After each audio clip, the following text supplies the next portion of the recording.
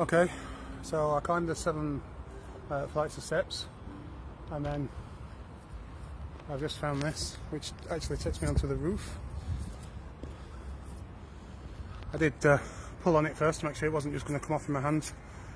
I'll say it's pretty scary in there. Um, I was kind of a bit anxious in case I bumped into someone who, I don't know, lives here. Um, coupled with the fact that there are signs outside telling you no entrance and I had to kind of climb over a fence to get in. Um, there's not actually a great deal of street art in there. Uh, it, I mean, there is stuff, but it's uh, mainly uh, tags, graffiti, um, a lot of it political, social, some of it funny, some of it sad.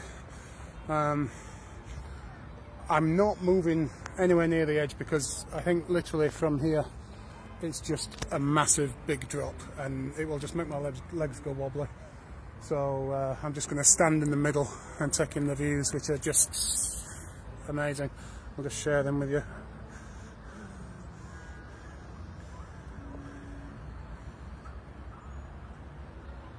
So the history of this place is it used to be, oh, it was built to be a bank um, and then the war broke out and so they uh, it never actually became a bank but it did become uh, it's known as the sniper tower because uh, the army would use this place uh, as a place to just basically pick off people because uh, it was in an ideal spot the main street. The actual border that uh, separates the Croats from the Bosniaks is literally down there. I'm not walking to the edge but it's that street beyond that kind of orange building so it was an ideal place to just basically shoot anyone uh, that was walking down that street that had to, because that was where they had to go to get food.